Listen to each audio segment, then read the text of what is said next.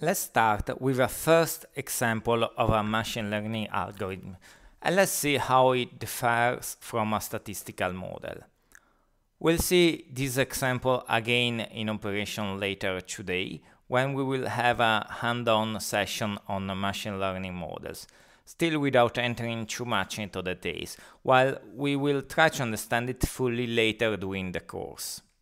But for now, let's just see which are the objectives, the input and the output of the model. Or I would uh, say of the task as there isn't really a model underlining it.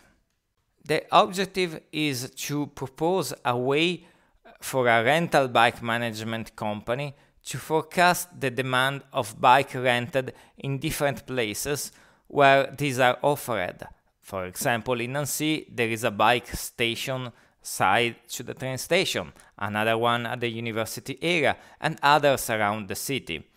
The company managing the bikes has a van to move the bikes in the places where it expects a higher demand of bikes, for example, the train station in the early morning.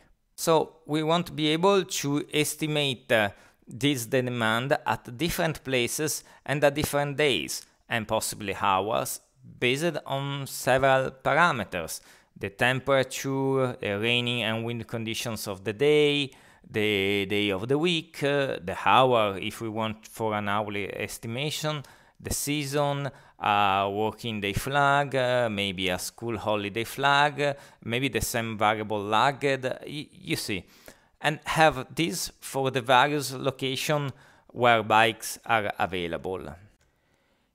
If we were building a statistical model, we would have to decide which variables are important to define uh, the output variable, the number of bike rented, and perhaps how do they interact. For example, uh, the weather conditions as temperature and wind uh, are possibly more important for weekends when I take the bike for leisure than it is for weekdays also this relation between the x, the independent or explicative variables, and the y is not necessarily linear.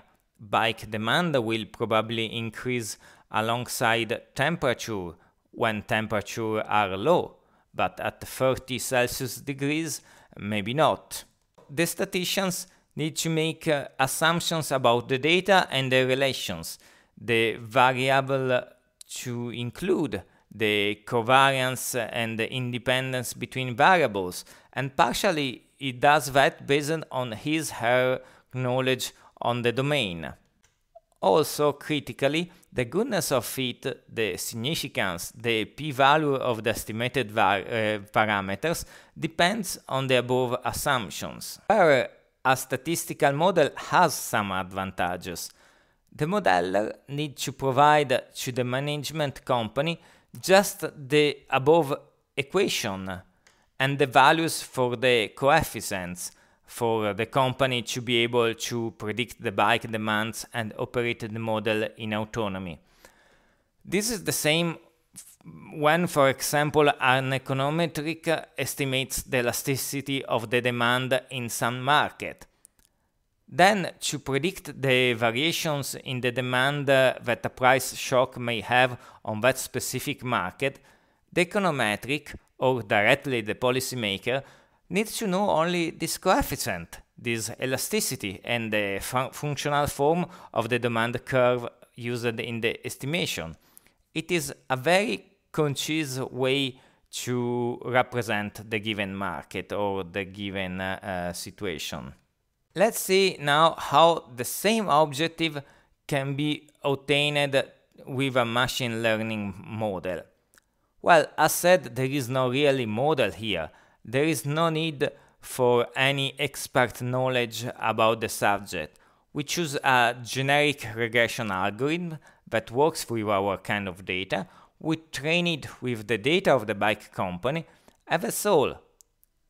We assess the goodness of the algorithm by randomly splitting the data in different sets, one used to do the actual train of the model and one for indeed testing it.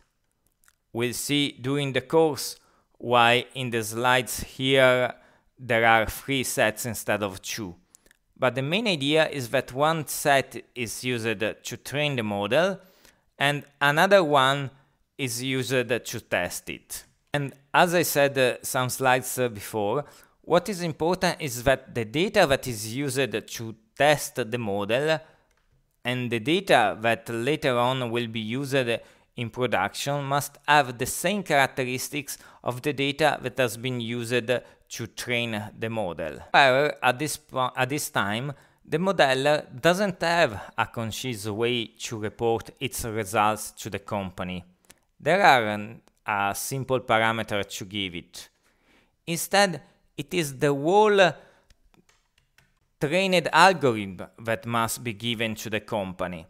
Only with the trained machinery, the script we have used and trained, the learned parameter, the company will be able to add new data and obtain estimations of the bike demands. Finally, let me note that in this example here we aren't considering any trend effect. Aside the daytime and seasonal effects, we do not consider explicitly the time dimension. Simply, when the company realizes that the estimation starts to diverge from the observed bike demand, it is time to recalibrate the algorithm to considering new data that uh, uh, the company uh, has. And depending on the size of the project, this could also be done automatically on a daily basis. Remember the online algorithm discussion we had.